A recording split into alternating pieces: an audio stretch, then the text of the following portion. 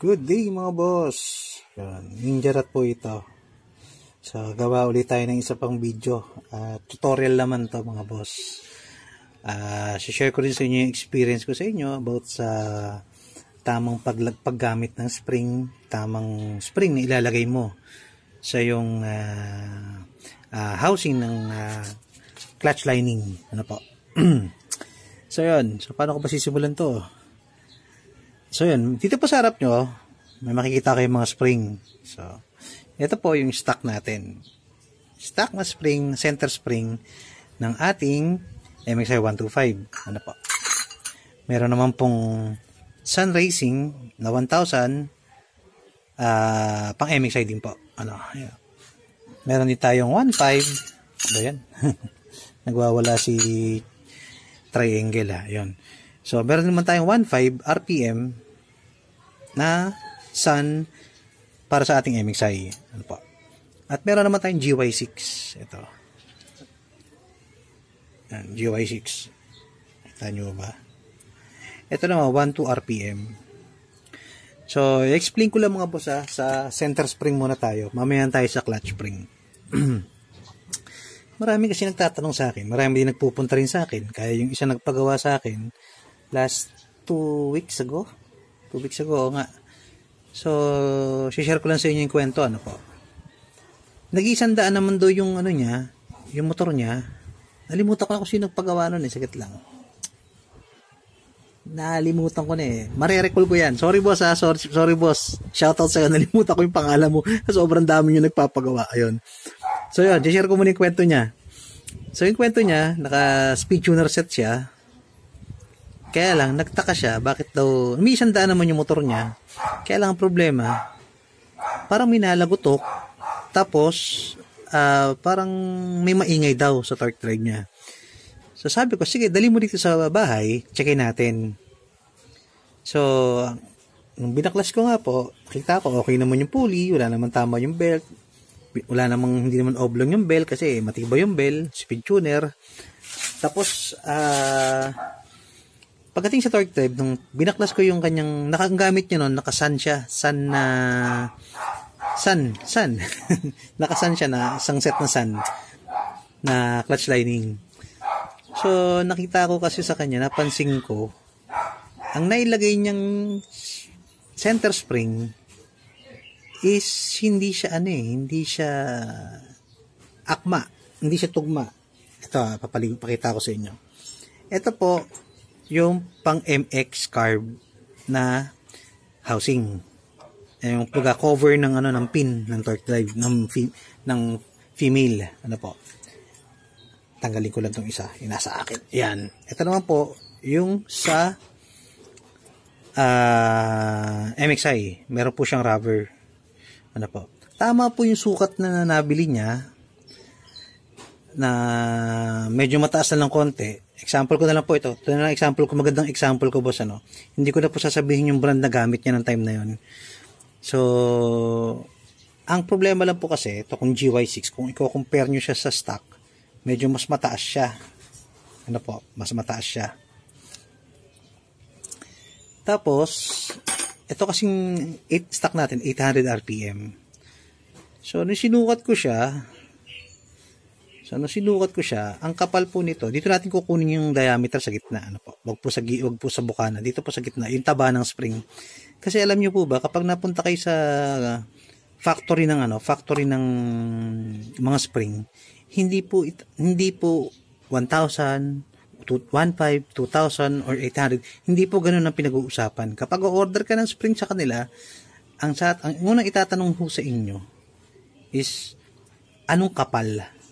Ito po, kapal, diameter niya. So, ang stock po natin is nasa 4.4. Uh, 4.4. Ay, sorry, hindi nyo pala kikita. Yan. Stock po natin is nasa 4.4. 4.4 yan. Ano po. Yan. Iba-iba pala. Depende sa caliper. So, sabihin natin, i-round up na lang muna natin yan. Gawin natin 4. Ano po. Kailang, yan. Yung kapal po ang pinag-uusapan. Kasi ito may kalakalawang na rin eh. Baka doon tumatama sa kalawang eh. Sabihin natin 4. Ano po? Pag-order kayo sa, ibang, sa mga factory ng ano, tatanungin sa iyo, anong sukat, ilang ilang turns at yung diameter. Hindi po itatanong sa iyo, anong ano ano ba mo pagagawa mo? 1.5 ba? 1,000? Hindi po ganoon. So, meron po kasi kaya iba-iba po kasi ang design ng mga uh, spring. So, ang isa napansin ko po kasi, ito balik tayo sa GY6. Example lang po ito, ano po. GY, GY6 po, wala po siyang problema dito sa MX. Yung sa mga walang rubber dito. Ano po. Wala po siyang problema dyan. Kaya lang minsan, kapag nilagay nyo sa MXI na may rubber, sikip na po yan. Yan o. Sikip po yan. Tapos, anong nangyayari po dyan, uh, nagkakaroon siya ng ingay dahil yung hindi nga ako makalaro yung ano, hindi makalaro yung spring ng konti dito. Hindi siya, kasi kahit pa paano, gumagalaw po sa loob yan, nagmumove ko ng konti yan. Hindi siya ngayon makagalaw, kasi nga may rubber. So, ang ginagawa, ang nang, tendency po nangyayari, nagko-coil bind siya. Kumbaga, recoil binding. Kumbaga, pag pigaan niyang ganun, gumaganon, tumatama siya sa kilid. Kaya ito, mapapansin ho ito yan, may mga tama ho yan. May mga ganyan, you know, mga gas-gas. Kasi oh, naglalaro ho yung spring, nagbabind po ng konti yan. Ah, nagbab, nag, nag, nag, ano ba tawag ito? Tumilikot siya ng konti. Gumagano siya ng konti. Kasi kapag pinrest niyo po yan, yan magbabind-bind po yan. So, para maiwasan natin yun, gumamit po tayo ng tamang center spring. Like for example, ito po, ang isang recommended ko talagang na, na magandang gamitin is itong sun para sa MXI natin. Kasi yung sun po, mas malaki po yung diameter niya. Uh, ito mga boss ah. Ano, nasa 51.5 ano po. Tapos, yung taba niya, same lang po. O round up natin, di ba? Kaya na 4.4, ito 4.4 din po. Yung sa GY6. So, same lang po. Sa turns naman po, Bilang natin, 1, 2, 3, 4, 5, 6, 7, 8. 8 turns. Sa GY16 po, 1, 2, 3, 4, 5, 6, 7, 8. Ano po? Kaya lang, half. May kalahati po siya. Ano po? Tapos, ang atin namang stock is nasa 1, 2, 3, 4, 5, 6, 7, 8, 9. May konti, ano po. So, half din. So, ang marirecommend ko po sa inyo na gamitin nyo para hindi po siya maglagutok, maiwasan natin yung ingay, lagutok, is ito pong sun. Kung ang gamit nyo po ay yung yung may rubber, kasi yung po yung stock ng MXI eh, ito po ang gamitin nyo sun. Kasi saktong-sakto po yan. yan Kahit yung 1.5 po niyan, saktong-sakto. Yan po. Sa haba, saka sa turns, lamang lang yung stock kasi nga nag-upgrade tayo, tumigas siya, pero yung yung yung spacing niya po, agit lang hawakan ko lang ng ayos. Yung spacing niya po rito, yan. Unahin natin yung stock. Ano po? Zero natin. Yan. Unahin natin yung stock. Ayan. Nasa 18.9 o round up natin, 19. Ano po? Ayan, ito po nasa 25. 25.7 So, i-round up na rin natin, 26. So, ang mangyayari po, mas matigas to. Kasi 1.5 po ito. Ito, 800 RPM lang eh. So, ang nagustuhan ko sa Sun is kasi sakto po siya. Hindi po siya saktong-sakto, pero malapit po siya. Malapit siya sa ano, same, same height ng MXI natin. Kaya anong nangyayari po, hindi po siya nagko-coil bind. Kumbaga naka, napa, napipiga ng ayos, hindi po siya tumatama rito hindi tumatama rito sa ibabaw. Kagaya nito. Ito, tumatama ho kasi rito eh. Tumatama siya. So, ibig sabihin, nagko-coil bind po siya. Kumbaga, imbis na mapiga, kasi gaya nga pinakwento ko sa inyo kanina, yung, yung isa nagpagawa, hindi ko alam kung nalimut mo, sorry ah, nalimutan ko pangalan mo eh.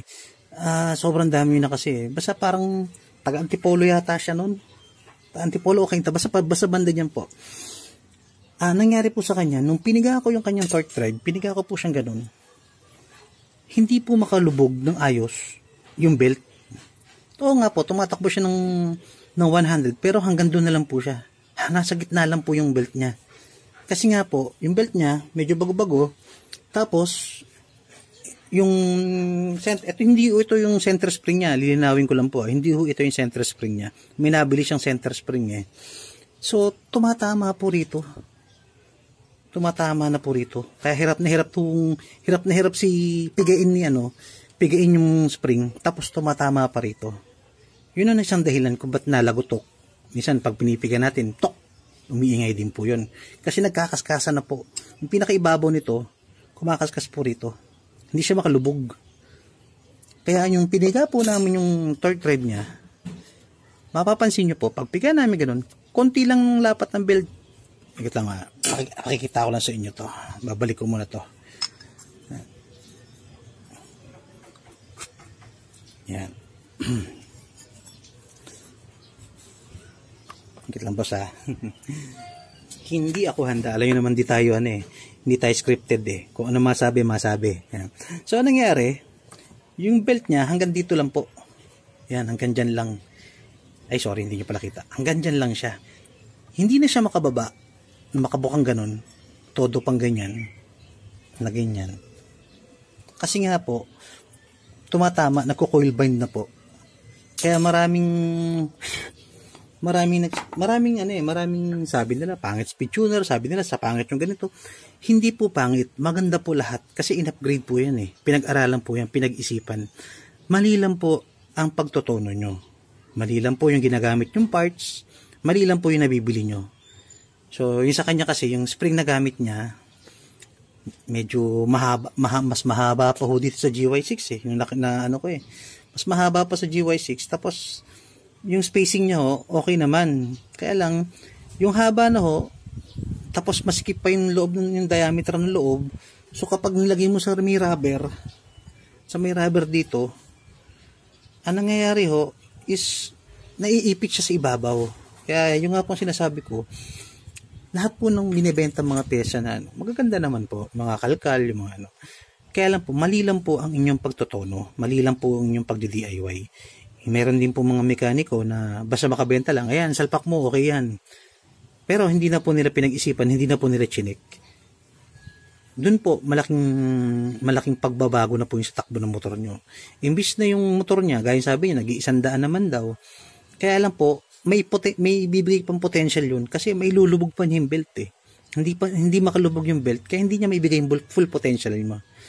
So, yun lang po, isi-share ko sa inyo yun kasi maraming mga nagtatanong bakit daw yung sa kanila umiingay, lumalagotok, gumaganya, pag pinipiga tapos biniga, pag biniga mo bigla, tok tok tok tok tok tok, gumaganon daw. So, yung doon po nang gagaling yun. Kasi marami, yung actually marami siyang pinanggagalingan yun. Lagotok na yun sa torque drive assembly natin eh. Uh, kaya minsan pag may mga nagtatanong sa akin, boss, nalagotok yung ganito ko, send ko sa yung video. Sinasabi ko sa kanila, boss, mas maganda kasi, dalin mo sa akin para makita ko po lahat, mabuklas, mab- mabaklas ko, ma-check ko po lahat. Kasi mahirap po yung manghuhula ka, yung pakikinggan mo lang sa sound sa video. Mahirap po yung mga boss. Uh, nangyayari po doon, nanguhula ka na lang. ano po. Kaya pag sinabi sa inyo ng mekaniko, na dalin mo sa akin para ma-check natin, yan, yun po ang tama.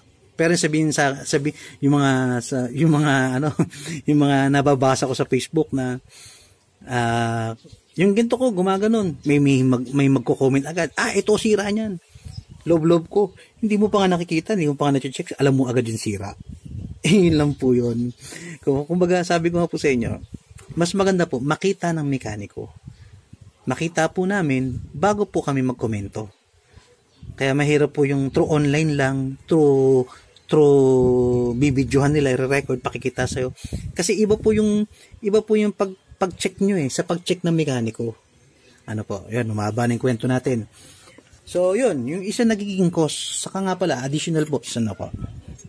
Kung iisipin nyo, kung naiisip nyo naman, no, para umubra yung ganito, para sa MXI, tatanggalin nyo itong rubber, or magpapalit kayo ng ganito, ng ganyan, pero pwede naman po. Kaya lang, may lagutok pa rin. Ano po? May lagutok pa rin siya, kaya lang mahina po. Nasa inyo na po yon. Basta ako kasi, kung ano design ni MXI dyan, na itong ginto mira, nilagay niya na wrapper, yan po ang susundin ko. Kasi, syempre, hindi lang po isang tao ang nag, nag-design nito. Hindi lang po isang tao ang nag-approve nito. mga mga madaming engineer po yan. Hindi lang po isang engineer ang Yamaha. Kaya, yan po, dinesign po yan para tahimik, para uh, hindi malakas sa gasolina, para smooth yung takbo. Ngayon, kung tayo po yung magdi-DIY at sasalpakan ng sasalpakan ng pwede yung pang Honda, pwede yung pang ganyan, sablay po yun. Magbabase po kayo sa sukat. Bili po kayo nito, caliper. Dito pa lang ako sa caliper to, nabili ko lang siya sa sa ano to sa sa ba nabili to Lazada. Nagsilang Lazada, nabili ko siya ng 88 pesos. 88 pesos lang po yan ha. Oh, free shipping pa yon. So yun, so balik tayo. So tapos na tayo sa ano, tapos na tayo sa center spring ano po. Tatabi ko na muna yan. Dito naman tayo sa clutch spring. Ano po? Kalimitan ng lagutok nanggagaling po yan sa clutch spring. Ito po. Ito po kasi di ba kung, ma, kung may makikita kayo may mga nakalagay na ganyan. Ito example lang po ano. Ito, ito housing lang po to, hindi NCY talaga nakalagay diyan ay nakalagay dyan yung, yung NCY na Mio 110 yung iba nilalagay nila sa MXI sabihin nila ah, same lang daw parang lang daw yan ganito ganito sabi ko boss hindi kasi ganun yun. Hindi porky masilan po ang clutch lining? Hindi po ganun yun kasi base po sa experience ko ng mga boss ito meron ako mga lining dito. Tatabi ko na nga iba tigil-tigil lang kukunin ko yan. Yan na po. Ay, dito pa pala isa. Ito, ito JBT to eh.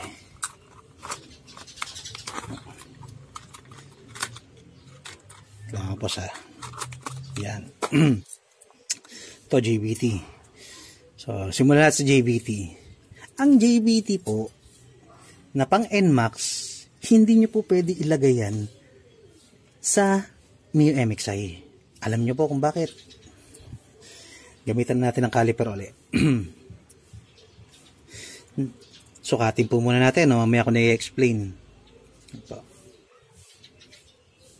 Ang sukat po niya is nasa ay lang, ayusin na natin sukat. Yan, 35.2 o 35.1. Round up natin, 35 mm.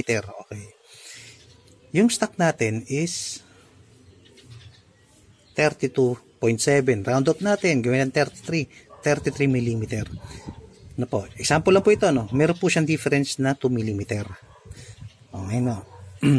Ilalagay ko ngayon siya sa stock na assembly ng torque drive ng 1, ng 1LB. Ano po, ayan, 1LB. Sagit lang, asa may rubber damper ko. Lampas ah. Hindi ko na ipopost boss para dire-diretso na tayo. O kunin hindi kasi ako nakapaghanda mga boss sorry ah.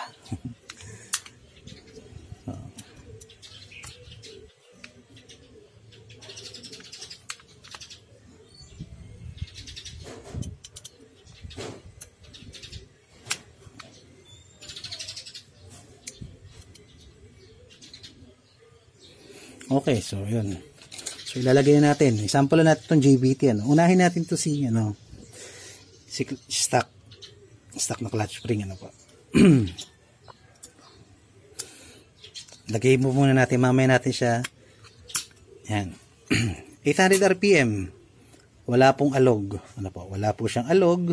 Sukat na sukat. Ano po? Yung agwat niya rito sakto lang. Ano po? Tanggalin ko muna po ano.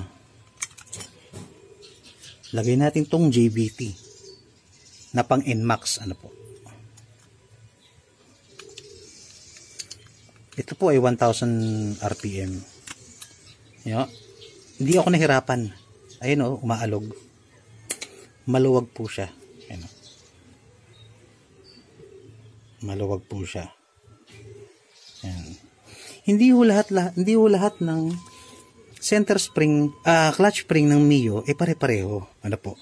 Huwag po natin lalagyan yan. Ayan din yung napakaluwag. Ano po? Ulitin ko paglalagay. Oh. Ayan. Oh. oh. Nyo. Tayo nyo. Ayan. Naalog po siya. Alog po. Ano. Sa madalit salita po mga boss, iba-iba po.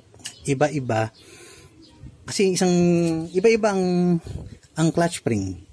Iba-iba ang sukat niya, iba-iba ang diameter, iba-iba ang haba. Ano po? Saka titignan niyo rin po muna is inyong housing ng ano ng ng clutch. Kung 1LB ang gamit nyo, kapag humalalim na yun dito, kapag ho yan malalim na sa kain dito, at nilagay nyo kahit yung stock, aalog po yan. So yun pong isa nagiging problema pag nilagay nyo po yan, mala- malalim na yung kanal niya, huwag nyo na hong gamitin yan. Palitin na po yan. Kasi once na umaalog po ito, yan po ang nagiging cause din ng ingay. Tok! Gumagano rin po yan kapag nagre-rev kayo. Ano po? Mara, isa-isahin ko po sa inyo yung mga umiingay. Ano po? Ah, ito naman, testing natin itong 1.5 na Sun Racing. Ito, pang MXI talaga to Sun Racing. Ano po? Lagay natin, ano po?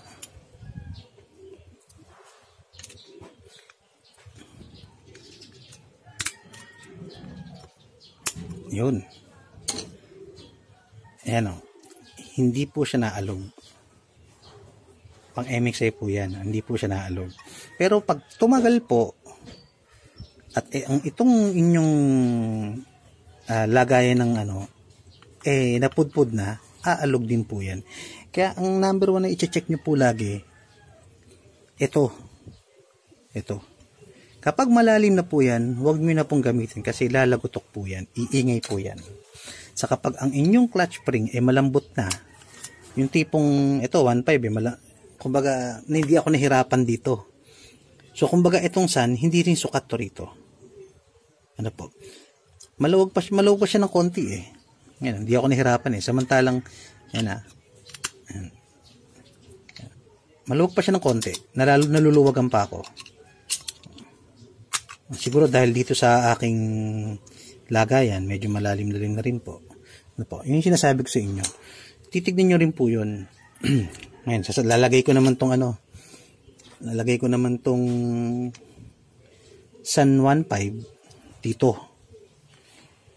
Dito. Yung Sun 15 na, na clutch spring, nalagay natin sa housing ng ano, Sun talaga. Ay, sorry boss. Ilan boss? Ito masikip eh.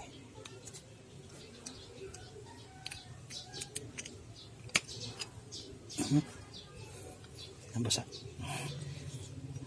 Hirap. Ilan boss?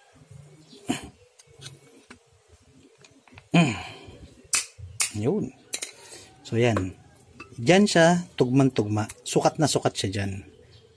Ano po? Sukat na sukat yung sun mismo. So, siyempre, sa kanilang housing. So ngayon pag ito nilagay mo rito sa 1LB, may alog ng konti yan. Maluwag ma, may maluwag ng konti yan. No. Isa naging naging dahilan 'yon kung bakit umiingay ang ating torque drive. Yan. Na mga boss ah. Medyo mabigat eh. Kailangan sa ang hirap mag-explain kapag ano. ya ya ya. Yan. Yan. So, asa na tayo? Mm, nasa na ba tayo napunta? Ayun. So, so kaya nga sabi ko sa inyo, isang dahilan yan na nalulukutok yung ating torque drive dahil sa spring na ginagamit natin. Ngayon, meron akong may recommend sa inyo. Actually, na-try ko na yun dati. Kaya lang yung sa akin kasi na nabili ko na na NCY. Meron ng NCY naglabas. Ito, ipopost. Nakita ko sa Shopee to eh. Yan, yan. Tignan nyo na lang yan. Yan, yan, yan, yan, yan, yan, yan, yan. Yan. So, yan. Uh, nabili, mura siya sa Shopee. So, tinanong ko yung seller, kasi dati nakagamit na ako niyan eh. Okay naman siya. Same size ng ano natin, same size ng ating uh, stock na clutch lining. So, maganda siya compare sa compare sa ibang aftermarket kasi kailangan niyo po makuha yung sukat niyan eh tamang sukat po ano po sa, kasi lalo kapag yung ganito nyo, ipudpud na. So, kung ang gagamitin nyo is 1LB, mare-recommend ko sa inyo is yung NCY. Yung NCY na pinakita ko sa inyo. Yan. Yan ang mare-recommend ko sa inyo. Kasi yan, same size siya ng ano, same size siya ng stock. Tapos, uh, ah, 1,000, nag-upgrade siya. So, ito kasi 800 lang eh. So, salpak na salpak po siya dyan So, yun yung isa napansin ko, yun yung mga sinishare ko nga sa inyo. Ito po base po sa experience ko lang na po. Sa tagal-tagal ko na rin po nagkakalikot, nag, uh, from two-stroke yan. So, sinishare ko lang yung experience ko sa inyo na hindi porki pang Mio, pang Mio Sporty or pang NMAX, pwede sa atin, hindi po ganun. Tignan nyo po, yung haba, yung haba na spring, ito ah, sagit lang. Titignan nyo, babasihan nyo yung haba ng ating clutch spring. Ayan. Ayan. Ayan. Ter oh, ayan, 30, 33. Yung haba niya. Tapos, yung haba rito. 128. Saka yung kapal. 1.8. Kasi 800 RPM lang po siya. Pero ang, ito, 1,000. Ah, 1,500 ay, example ko sa inyo. Okay, round off na, na natin. Nasa 2 mm. Yung isa 1.8. So, doon po nagkakatalo yan. Kaya sabi ko nga sa inyo, pag napunta kayo sa gawaan ng factory ng mga spring, hindi kayo tatanungin doon kung ano ba bibili mo, 1.5 ba, 1,000, 2,000, hindi po ganun. Ano diameter? Ano haba? Ilang ilang bind? Yun po mga tinatanong doon. Saka bibigay kayo sa kanila ng uh, diag uh, tag doon? Uh, yung batag na, na blanco ako ah. Uh, yung di- diagram tawag doon? Yung parang diagram, yung nandun lahat ng sukat, nandun lahat, ganun po doon. So, yun. So, yun ang isa sa, isa sa mga nalag- eh, reason kung bakit nalagotok ang ating torque drive. Pangalawang reason, ano po? To, ito yung original na stock ng 1LB na rubber damper. So pag rubber damper nyo po, eh, sira na. Ito, in-explain ko na sa isang video ko to eh. Kaya lang hindi nyo siguro napapanood eh. So kapag yan ibiyak na, lalagotok-lagotok na po yan. Pag maluwag na yan dyan, lalagotok na yan. Natama, tatama po yan. Ano po? Saka, kasi mabilis po yung hampas niyan, ipabalik eh. So, gagano po yan. May konting tunog yan. Ganyan. So, pag yung ganito nyo, sira na, or yung loob wala ng bakal, palitan nyo na po yan. Iingay po yan. Uh, ito po, example, ng uh, rubber damper na walang bakal sa loob. Yan, ito. Pakita ko sa inyo yung pagkakaiba.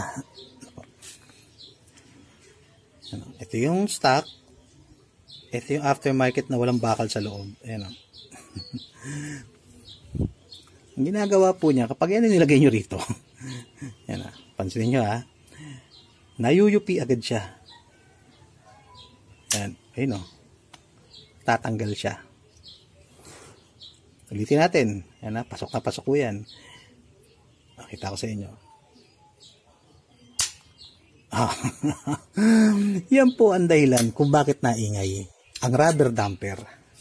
Kaya nga sabi ko sa inyo, kung gagamit kayo ng rubber damper, tiyakin nyong matibay, may bakal sa loob, stock. Tapo, alam ko napakahirap maghanap nito at uh, kahit ako nahihirapan. Pero kung may makikita naman kayo, example, nasira po yung ganito nyo, rubber damper na stock nyo. Ang, kung matyaga po kayo, kung medyo may konting dekalikot din kayo, kung nabiyak na po yan, tanggalin nyo na po. Yung pinaka bakal sa loob, yung aluminum sa loob, yun na lang po ilagay nyo sa ganito. Ano po? Yun na lang po ilagay nyo. Para kahit pa paano, tumibay-tibay siya. Kasi ito nagpapatibay dyan eh. Yan o, nagpapatibay dyan. Ito yung sa stock ha. Yan o. Yan o, nagpapatibay dyan. Kahit ma, maano siya, pag pinapasok nyo, yun o, hindi po siya matatanggal. Ano po? So, yun. Ba, mahaba na yung ating video ah. Napasarap ang ating kwentuhan. So, ayun mga boss. So, sineshare ko lang sa inyo kung bakit nag-iingay ang ating torque drive. Kalimitan po yan sa spring. Pag maluwag na yung spring nyo, iingay na po yan. Kapag mali ang nabili yung spring, iingay po yan. Pag may tama ang ganito nyo, itong pinaglalagay nyo ng spring, maluwag na, iingay po yan. Kapag ang rubber damper nyo, eh, walang bakal sa loob, walang aluminum, or biyak na, iingay pa rin po yan. Ano po? So, yun po. Sabi ko sana kanina short video pero maabot tayo ng 30 minutes, 30 minutes na yata. so, yun mga boss, puputulin ko na to at panigurado naman ako eh, alam niyo naman po yan. So yan, oh, marami po kasi akong iba't ibang klaseng lining dyan. Oh. Yan, meron JBT, pero nakarat lining yan. Merong sun, nakarat lining din. Meron ding sun na original na sun. Yan. So ayun mga boss ha, puputulin ko na muna to at masyado na mahaba yung ating video. So sana may natutunan kayo, sana may nakuha kayo sa akin kahit papano, kahit makulit ako, kahit magulo ako magkwento, at least nakakuha kayo na idea. So ayun mga boss ha, ride safe!